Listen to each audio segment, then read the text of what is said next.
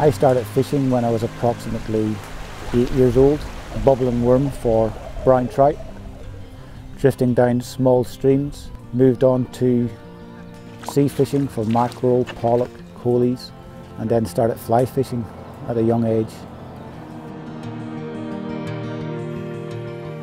You Fish Scotland was formed probably 2010, spent a bit of time in the Middle East and got fed up with the heat and I wanted to do something else. So fly fishing in Scotland seemed to be appropriate, cool weather, lots of fishing and an abundance of fish. Pike season would be our first season of the year. We'll fish for them on lure as well, but my preferred method is, is on the fly. And you hit anything over a 20 pound pike on the fly, it's good fun. It is really good fun. They fight hard, they run hard, and they go deep. Then we go into salmon.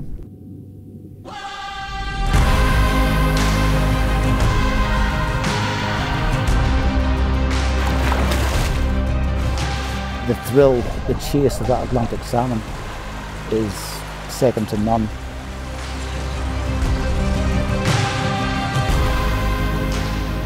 Then followed by brown trout. Brown trout can be quite picky. For me, May is the best time of the year, and then September at the end of the year for big brownies.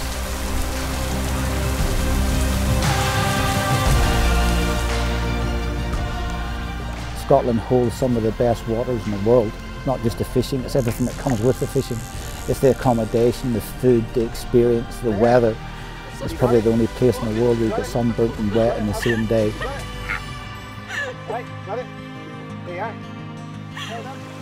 We try and introduce 50 people a year into fly fishing and that can be children from the age of eight upwards, can be any age really, to adults who just want something new to do, to get outdoors. It's not only good for the fly fishing industry, but it's good for them, it's good for their mental health, it's good to be outdoors, fresh air, everything that goes with it.